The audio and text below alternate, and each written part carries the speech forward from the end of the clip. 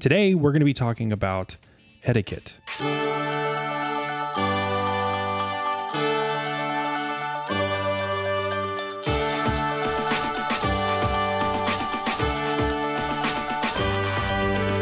First question you might ask yourself is why are we discussing etiquette before we play a game?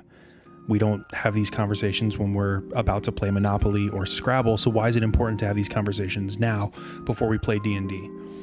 It's actually a pretty simple answer. D&D is not like other games. In fact, no tabletop RPG is. It's an immersive experience. Everything that happens within that game happens firsthand. This might actually blow your mind. Studies show that when you're playing a tabletop RPG like Dungeons and Dragons, you're actually forming memories in the same part of your brain that formulates memories when things happen in real life. So when your fictional character fires an arrow and strikes down that beast, in your head, you actually categorize that experience as a real memory. That's just the depth to which these games are so immersive. So, with that in mind, we have to take an extra level of care when it comes to protecting each other while we play, as well as making sure that the game runs smoothly. Another core reason is just the quantity of gameplay time. When you're playing D&D, you might play once a week for three, four, five hours, and it's with the same group of people for months, if not years at a time. You're building a collaborative story, and when everyone's on the same page, you can make sure that that actually sustains, that nobody's getting their feelings hurt, no one's feeling left out or neglected. At the same time, everyone feels like they can continue to collaborate on this story for years to come. It's worth noting that everything I outline here in this video is completely subjective. These are simply the etiquette guidelines that have worked for me and my table to help us sustain for months and months on end and have a really, really fun campaign while still respecting one another and making sure we're taking care of each other first. I'm going to start with by far the most important rule that we can go over in this video, and it's really simply this respect the boundaries of the other players. When you play D&D, you're telling a collaborative story and by nature, you're going to get to create storylines within that story. You're going to get to make decisions that impact others, to go down these roads and sort of explore different themes and ideas and characters, but it can also take a little bit of a turn if you're not careful. If you don't believe that this actually happens in the real world, just go to RPG Horror Stories on Reddit. It's a subreddit filled to the brim with stories of people doing the most asinine things during their D&D games and just making everyone so uncomfortable, doing the worst sort of things.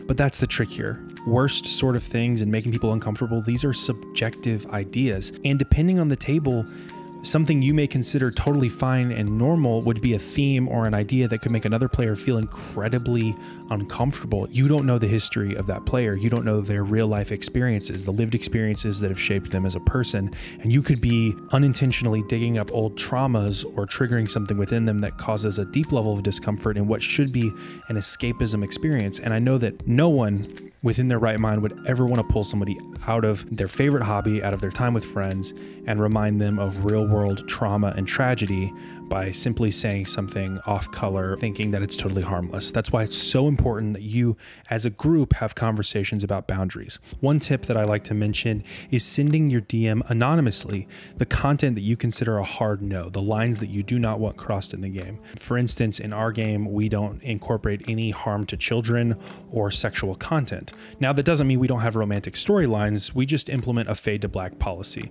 A fade to black policy is simply this if you want to engage in a romantic relationship or any sort of physical interaction in a romantic way with an NPC, that's totally fine. But I'm not going to describe it or narrate it because that might make certain people at the table a little bit uncomfortable. And personally, as a DM, that's a, a boundary for me. I don't want to have to describe those things. And so it's just a boundary we don't cross. For your table, that may look completely different, but that's rule number one, first and foremost, always respect the boundaries of the other players. Have those conversations before you play, and never under any circumstances cross the boundaries of another player. To me, respecting player boundaries is the backbone of making sure you have healthy interactions between party members when you're playing D&D. But there's one rule that I think is the healthy backbone to facilitating a good experience for your dungeon master. And ultimately, if your DM gets burnt out or stops having fun, you don't have a game anymore. And it's really, really important that you respect your DM's time and also their attention. And that brings us to rule two respect the dungeon master's authority. Your DM is a facilitator, a storyteller, and a referee. They're wearing a lot of hats and they're gonna make mistakes. If a DM makes a ruling that you don't like, I always suggest this simple communication tactic. I think it's okay to bring it up one time. meaning, hey, DM, I'm not sure if you know this, but in the rules it actually states X, Y, and Z. If your DM says, I know, but that's not how we're playing it tonight, just roll with it. If you really don't like it, that's something to discuss after the game, and then potentially discuss as a group how much leeway and how much uh, how much leeway you're comfortable with the DM having when it comes to stretching and bending the rules. And that's something for you guys to figure out as a group. But while you're playing, respect that some people may have gotten babysitters for this night. Some people have been looking forward to this for days, if not weeks bickering about rules is the quickest way to slow down a game, it, to embarrass a DM, to make the rest of the group sort of roll their eyes and go, oh gosh, not again. It's just not fun for anyone. And it's worth keeping the flow of the game going, making sure the DM stays on top of their task by simply saying, you know, okay, cool, I'm going to go with that ruling for now. And then after the game, bring it up and say, hey, I just want to say, I don't really agree with this type of ruling. Can we discuss it? There's three more rules here, and these are, I don't think, as vital as those first two, but they're completely vital nonetheless. The first one is don't compete, collaborate. This is the backbone of having not only functional play, but just really, really fun play. Uh, Matt Mercer has a great quote, the incredible DM Matt Mercer. Uh, he said that you can tell a great uh, D&D player from a good D&D player because a good D&D player comes to the table wondering what uh, cool things they can do with their character. A great D&D player comes to the table wondering what great things they can uh, help the other people at the table do right? It's that collaborative mindset. That's what's so, so vital. When you step up to the table and you're ready to roll some dice on that Friday night, everyone's there, everyone's ready. It's easy to fall into the trap of, of being like, okay, what epic things can I do tonight? What ends up happening as a party is that everyone at the table is thinking that. Everyone's sitting there going, hmm, I wonder what I can do. What makes me look good? What can I get? Where's my loot?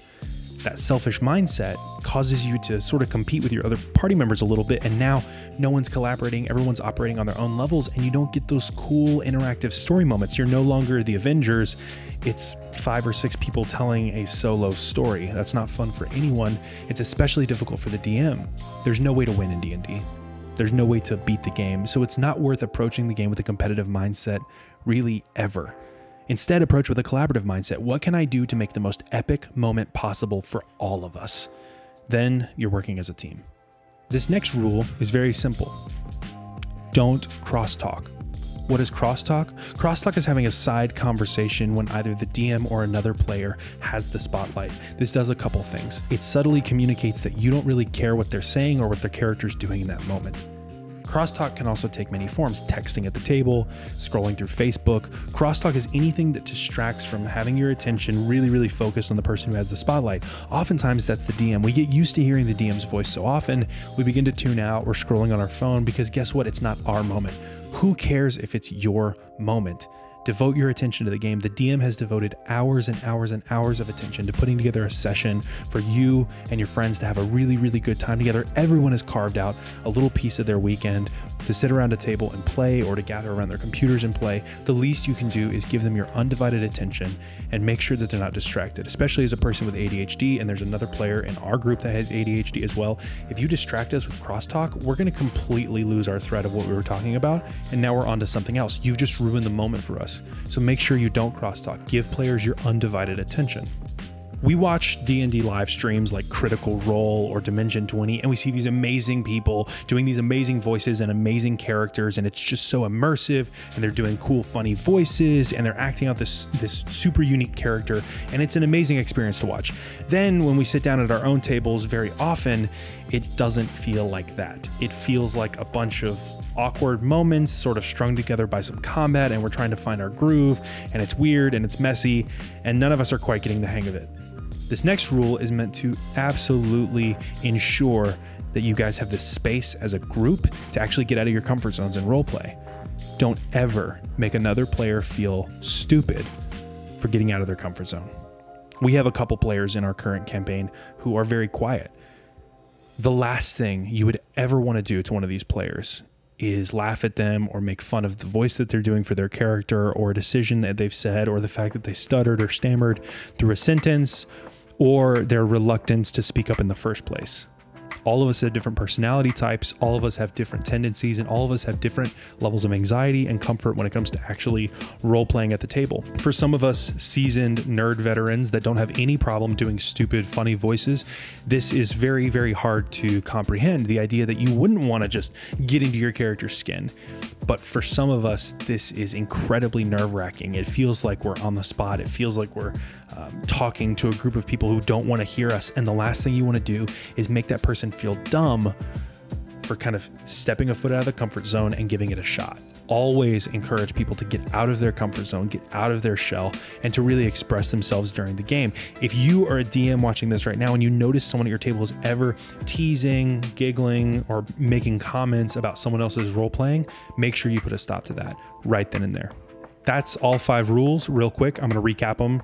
Always respect player boundaries. Respect the DM's calls, even if you don't agree with it. Don't compete, collaborate don't crosstalk. And always, just as an addendum, make sure to listen to those quieter players. Encourage them to talk too. Never make another player feel stupid for role playing that's all I had for you guys. It's a really simple, short video. I think if you guys can adhere to these and, and whatever other house rules your DM has for you, you guys will have an incredible time. Make sure you're actively checking in with yourself and the other people at the table to make sure you're doing a good job of this. If you guys all kind of keep each other accountable, you'll have a really healthy group that can last for a really, really long time. Obviously, this is not an exhaustive list, but I would love to know in the comments if there's anything you guys feel like I left out that was super, super vital to your game and making sure the integrity of your game is protected. Thank you guys so much for watching. I'll see you next time.